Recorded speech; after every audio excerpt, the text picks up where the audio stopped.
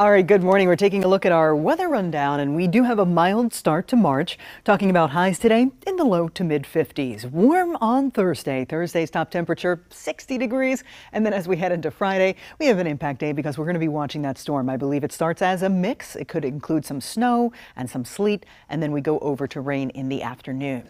News 8 Storm Team forecast today. Mix of clouds and sunshine to start. Starting to see some low clouds forming up in our northern counties.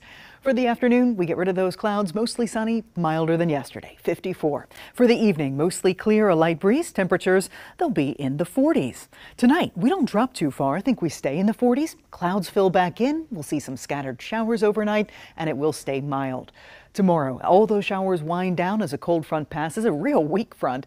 It's not going to do much to cool us off. In fact, as the sky clears and we get a west northwesterly wind in the afternoon, it's going to be warm and breezy with highs near 60. Warmest day of the week tomorrow.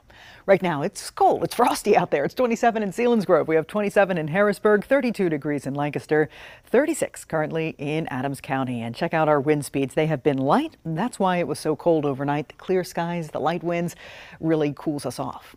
Right now, I'm starting to see some low clouds trying to expand. I'll keep my eye on those. If they do expand, we'll just see a mix of clouds and sun this morning, revealing mostly sunny skies as we head into the afternoon. But there is a warm front out to our west, and that should pop us into the 50s today as it lifts north. So take a look. Lots of sunshine this afternoon. Highs low to mid 50s. As we head into tonight, here comes that weak cold front with some scattered showers overnight. I think they're largely gone by sunrise tomorrow, but there just could be a lingering shower. As we clear out tomorrow afternoon, that's when we'll pop into the 60s.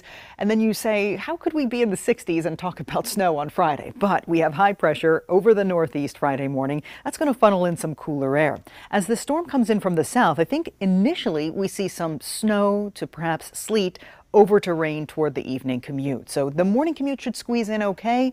The evening commute will be wet. It's right in the middle, though, where we will see some snow and some mix. So that's why we've highlighted Friday as an impact day for you. We'll keep an eye on those temperatures. I think they will be above freezing, so that does bode well for roads, but there could be some slick spots. As we head into the weekend, it's going to be a cooler 42 on Saturday, 46 on Sunday. I think we stay in those 40s for much of next week with overnight lows in the 20s and 30s. So a cooler start to March.